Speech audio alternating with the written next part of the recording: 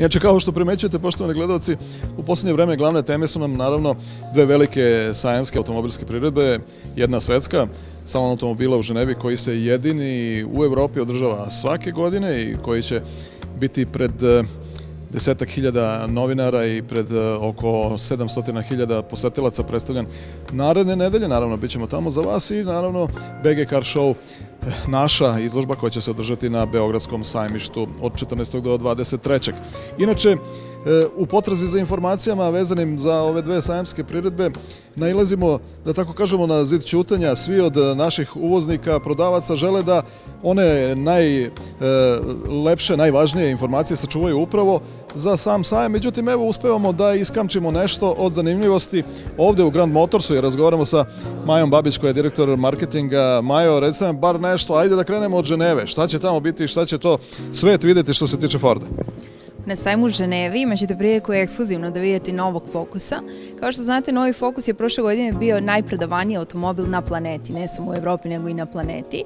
I ove godine Ford će predstaviti novog Fokusa uh, sa naprednom tehnologijom, finom izradom i sa poboljšanom ekonomičnošću. Novi Fokus pruža elegantan, emotivan novi dizajn sa odvažnim novim licem Forda i lepo izrađenom unutrašnjoću nalika na kokpit. Inače, što se tiče novog fokusa, on je nadograđen sa paketom novih tehnologija koje poboljšavaju kvalitet života, kao i sa velikim poboljšanjima u ekonomičnosti potrošnje goriva. Onda tu je i sofisticiran dizajn, Ford je napravio sofisticiraniji i naj, najnapredniji fokus sa redizajnom koji održava globalni dizajnerski jezik One Ford, a koji dopire preko novog Mondea i preko nove Fieste. Takođe tu je touchscreen kontrola za Sync 2, znači novi Focus će biti prvo vozilo u Evropi koji će ponuditi novi sistem Sync 2 i to je Fordov napredni sistem, za one koji ne znaju, to je Fordov napredni sistem za informisanje i za zabavu. Ima 8-inčni ekran u boji visoke rezolucije, osetljive na dodir, ima naprednu kontrolu glasom za lakši pristup audio sistemu Ima navigaciju, tu je kontrola klime i kompatibilan je sa mobilnim telefonima.